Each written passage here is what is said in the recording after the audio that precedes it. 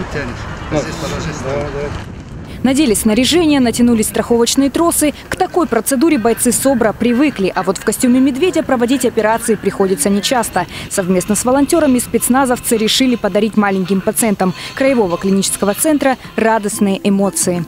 Объединившись в этой акции с волонтерской организацией, призываем всем э, проявить определенное милосердие, участие, если есть такая возможность. Может быть, что-то собрать для отделения, передать. Дети все находятся на очень длительном, некоторые на болезненном лечении, поэтому очень важна сейчас вот им моральная поддержка.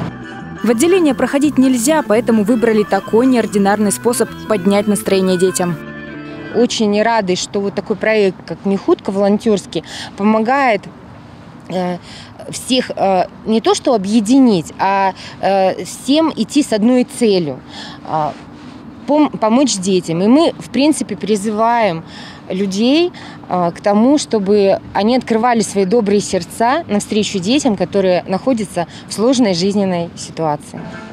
В региональном следственном комитете отмечают, подобные акции не редкость. Вместе с другими правоохранителями они стараются участвовать в благотворительности как можно чаще. И надеются, что их примеру последуют и многие другие ведомства, и просто частные меценаты. К сожалению, отмечают правоохранители, в пандемии число благотворителей, особенно среди предпринимателей, на Алтае заметно сократилось. София Ценко, Алексей Фризин. День с толком.